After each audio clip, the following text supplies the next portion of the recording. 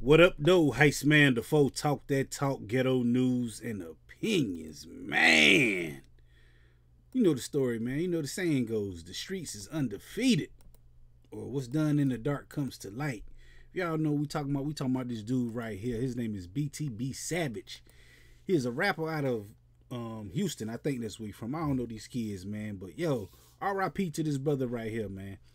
Make a long story short, um, he took a photo inside of the the scene where the ops got got. You know, I had to make this black and white because it's you know it's a red color.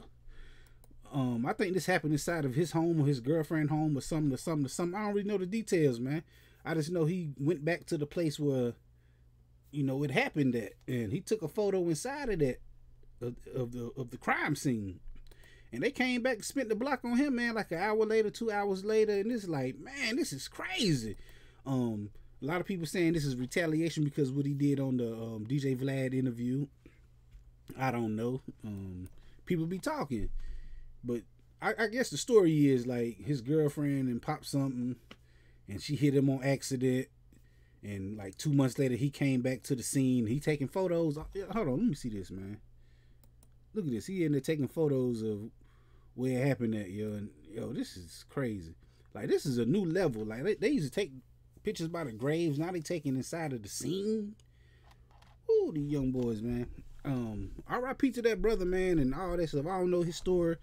I don't know nothing about him, but it, it, reminds me of something I seen on um, Twitter earlier this week. It was like I'll just be finding out about these rappers after they pass, and it's like because I, I think a Florida rapper just died. What earlier this week, and it's like I never heard of this guy before. And the only right, only reason I heard of him because he passed away. So man, y'all gotta chill out, man. It's crazy because back in the days it wasn't like this. You know, we had our biggies and our pox. Um, I think Big L. You know, a few of them. Pun, he just passed. It all, it wasn't nothing like all this violence they got going on now, but it seemed like every week is a new rapper getting knocked off. I quit rap, you know. I want to live.